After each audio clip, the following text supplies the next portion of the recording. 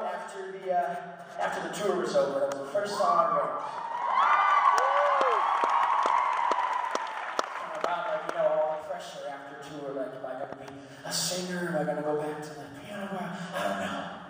But uh, that song was, you know, just give me a break. I got to give myself a break. well, you know what? I want to say thank you guys so much for coming tonight. It's 100% sold out.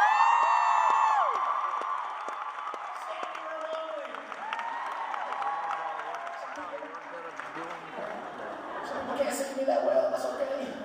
I'm just glad you're here. And you know what? Uh, we, were, we were having a blast. We've written so many songs. This next song I wrote is called 4 a.m. And thanks to YouTube, those 25 people already know. But you know what? I wrote the song at 2 p.m., but it doesn't matter. Here we go.